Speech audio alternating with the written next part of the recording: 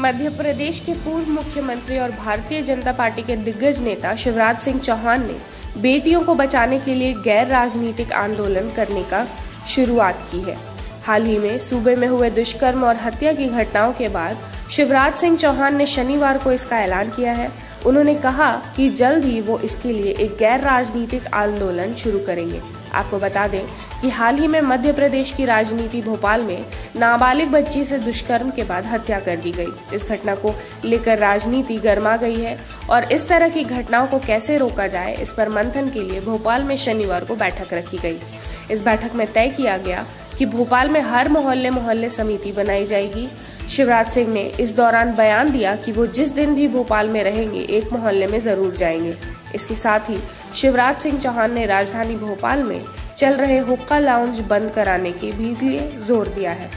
उन्होंने कहा कि दरिंदों को जल्द फांसी पर लटकाने के लिए भारत ने मुख्य न्यायमूर्ति को भोपाल से एक लाख पोस्ट कार्ड लिखे जाएँगे, जो 7 जुलाई को सुप्रीम कोर्ट के मुख्य न्यायमूर्ति को भेज दिए जाएँगे। इस दौरान शिवराज सिंह चौहान ने कहा कि यह आंदोलन सरकार के खिलाफ नहीं होगा, बल्कि सामाजिक आंदोलन होगा। और हमारी अपील है कि इसमें सूबे के मुख्यमंत्री कमलनाथ भी शामिल हों।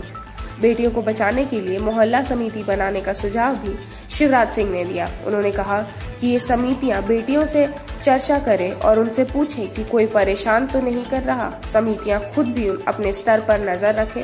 इसके अलावा बेटियों को शारीरिक रूप से सक्षम बनाने पर भी ध्यान देना चाहिए, ताकि वे अत्याचारियों का मुकाबला खुद कर सकें। इसके लिए उन्हें मार्शल आर्ट्स की ट्रेनिंग देनी चाहिए।